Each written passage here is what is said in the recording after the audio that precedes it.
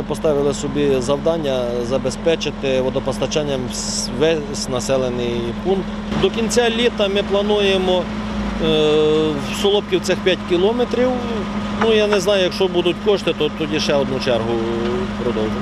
А взагалі нам треба десь е, близько 20 кілометрів водогону по е, е, селу. Ну, 7 вже є і 5 ми добудовуємо зараз.